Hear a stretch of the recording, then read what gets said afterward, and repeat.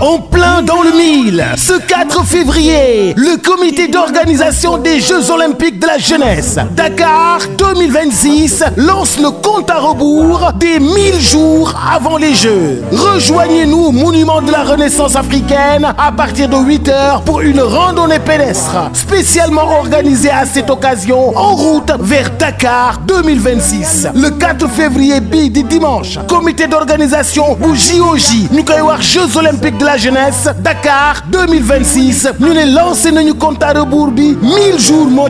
avant JOJ kon na ñëpp ñëw monument de la renaissance ce dimanche à 8 heures. Ñu def randonnée pédestre dox boo xam ni ñun ñëpp dañuy jàppoo bokk ndey bokk baay jëm 2026 ca Jeux Olympiques de la jeunesse en route vers Dakar 2026. seen at mi moo di atim gone yi soxlawul ñuy bare wax